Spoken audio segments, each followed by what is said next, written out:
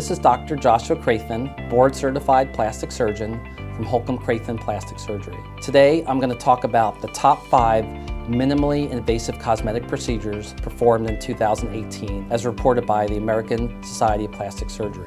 Number five, microdermabrasion. It's typically done by an esthetician and there's different ways and techniques to do it, but in essence, the goal of the microdermabrasion procedure is to exfoliate and remove the outer dead skin cells and allow the skin to become more healthy, glowing, and reduce wrinkles. Number four, laser hair removal. Laser hair removal is a safe, effective, minimally invasive procedure to reduce the amount of hair that someone has in an unwanted area.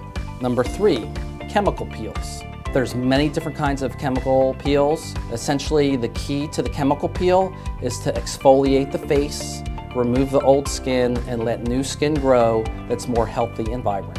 Number two, soft tissue fillers. Soft tissue fillers are injectables, and there's all different kinds. The most common is called hyaluronic acid, and fillers are used to volumize areas in the face that have wrinkles. For example, uh, the nasolabial crease, or the lips. And it's an absolutely safe, fantastic, minimally invasive procedure to give someone a more youthful appearance. Number one, Botox. Botox involves placement of a tiny amount of medication that helps the muscles to relax and prevent wrinkles for about three months. All of these procedures I mentioned, we routinely do here in our office at Holcomb Kreithen Plastic Surgery.